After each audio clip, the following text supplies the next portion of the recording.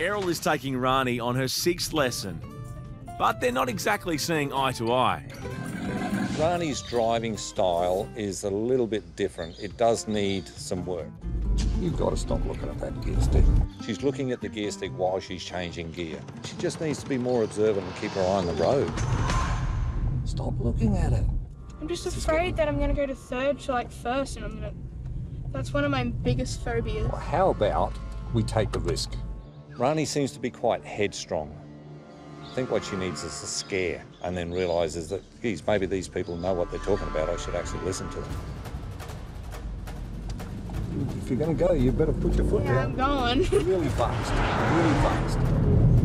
This is like Fast and the Furious. Oh my god, it's right there. Yeah, it was definitely a car's coming.